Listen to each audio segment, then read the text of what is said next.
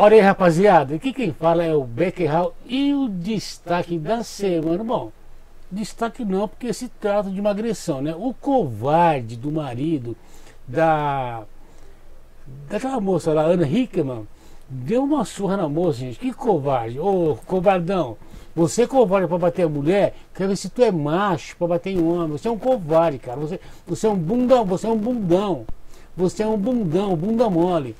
Pessoal, eu não vou ler a matéria hoje, né? Porque eu fiz um tratamento dos dentes e não estou conseguindo falar direito. Mas eu vou jogar o áudio para vocês ouvirem, tá? Uma, uma, uma, voz artificial bem legal, tá? Para vocês ouvirem a matéria e ver o que esse safado, esse sem vergonha, fez com a mulher. É brincadeira, gente. Bastante machucada, Ana Hickman presta depoimento na delegacia após suposta agressão do marido. Segundo imprensa de Itu, Ana Hickman teria sido agredida por seu marido, Alexandre Correia, dentro da própria casa neste sábado. Na tarde de sábado 11, a apresentadora Ana Hickman teria sido gravemente agredida pelo seu marido, o empresário Alexandre Correia, em sua casa em Itu, interior de São Paulo.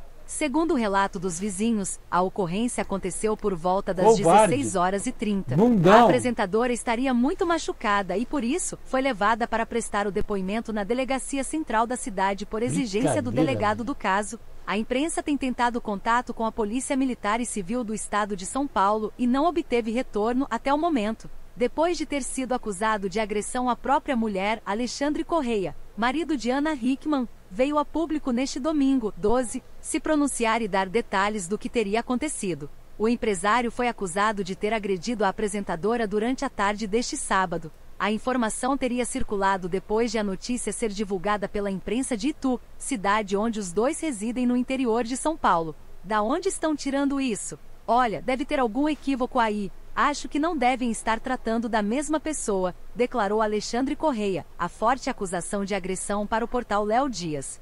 O empresário ainda esclareceu que não estava na cidade onde mora com a apresentadora da Record. Eu vim para São Paulo para resolver um assunto e vou voltar para Itu amanhã cedo. Estou chegando a São Paulo, disse. Após a explicação, Alexandre disse que a mulher estaria dormindo na residência do casal e que não poderia nem acordar a apresentadora para esclarecer os fatos, porque Ana teria trabalho amanhã cedo.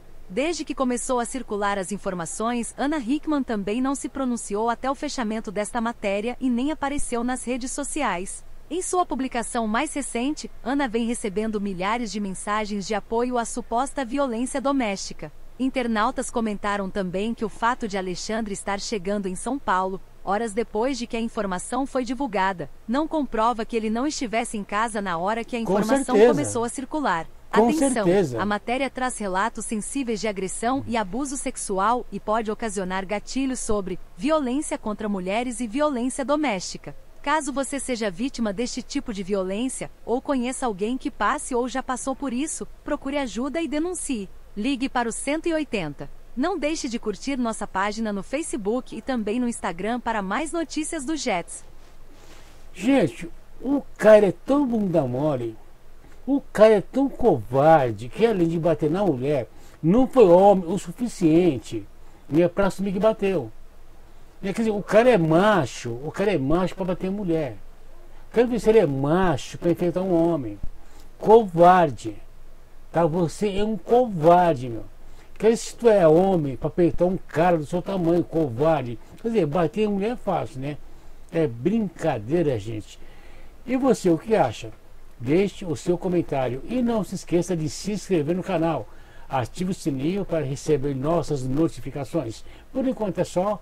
Muito obrigado a todos. Um abraço do canal da Vovó Bento do Becquerral e até mais.